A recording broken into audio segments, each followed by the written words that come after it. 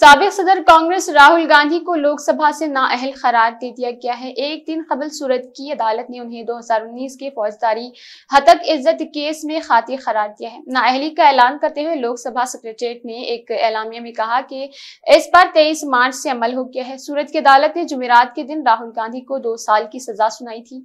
BJP रुकन assembly Pranesh Modi ने तमाम चोरों का सरनेम मोदी क्यों होता है? वाले रिमार्क पर राहुल गांधी के खिलाफ शिकायत दर्ज करवा दी है। ताहम नाअहल करार पाने पर राहुल गांधी आठ साल तक इलेक्शन नहीं लड़ सकेंगे।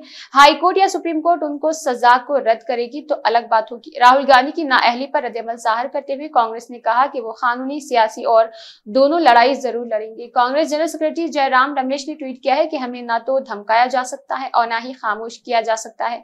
वज़ीर आज़म से जुड़े अडानी महामेगा स्काम के तहकीकत की बजाय राहुल गांधी को नाअहल करार दे दिया गया। हिंदुस्तानी जमहूरियत ओम शांति राहुल गांधी की नाअहल नाअहली को जायज़ ठहराते हुए मुमलिकती वज़ीर कानून इंसाफ, एस पी एस बघेल ने कहा कि ये कानून है और कानून के सामने सभी बराबर होते हैं।